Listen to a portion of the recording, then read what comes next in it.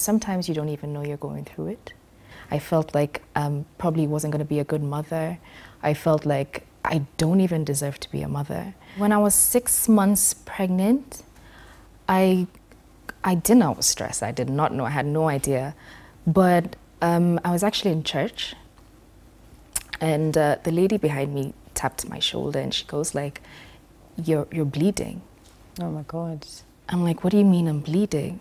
So I turn around and I check my skirt, and it's actual blood. So I call my mom up. I'm like, "I'm bleeding. There's something wrong." So um, she comes, picks me up. We go to the hospital, and they check, and the baby is fine, but the doctor says you're undergoing some stress, and if this continues, there's a possibility that you might lose your baby. Oh my God. And he asked me, "Are you going through something? Are you depressed? Are you stressed?" I'm like, "I don't, I don't know." So you were depressed I was at this actually point, depressed. but you had no idea. I had no idea. So there's um, depression can actually um, uh, cause you to lose your baby or harm your baby physically, and you don't even know about it. How did you finally realize there's something off? I'm, I'm not okay. So um, uh, after I had my baby, uh, I was in his room, and he was crying for maybe like an hour. I didn't, I couldn't, I could not figure out what was going on.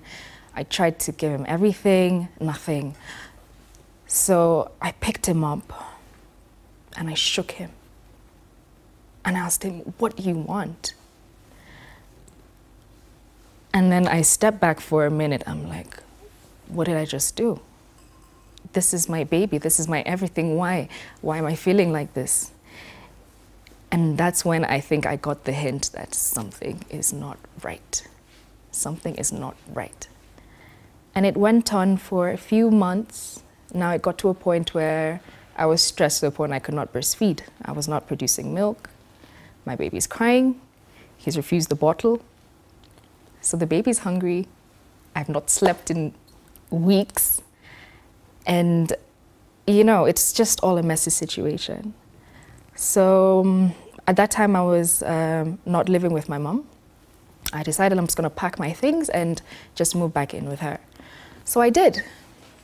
And uh, she made things easier for me. She would um, take the shift for the baby, you know, send me out sometimes because when you're in the first few months of having after having your baby there's this Right. thing that you know you can't leave the house for 40 days you know you have to sit in the house and that that being you know cooped up in one place mm. drives you crazy so she'd tell me no just go just Yeah, go take a a, drive yeah, Yeah, do just something else. drive even if it's just to the shop and come back Yeah. and you know you'll just feel a bit lighter It's been two years since you had your bouncing baby boy. How are you doing? I am doing great now. Great, absolutely great. I have embraced the journey. Um, my son is the most cheerful, charming little boy ever. What kind of support did you have or did you not have when you had um, your depressive episode? Um, I have to say, my mom was my greatest support. Um, even after trying therapists and whatnot, I still felt like she was a safe zone for me. And she really was that person for me. She supported me 100%. And I think that's what you need. You just need that one person you can actually talk to. What would you have to say to women out there who might be facing the same situation? talk to someone. Find that one person you're comfortable talking to. It doesn't have to be a family member, it could be even a random person you meet on the streets, but a problem shared is a problem half solved.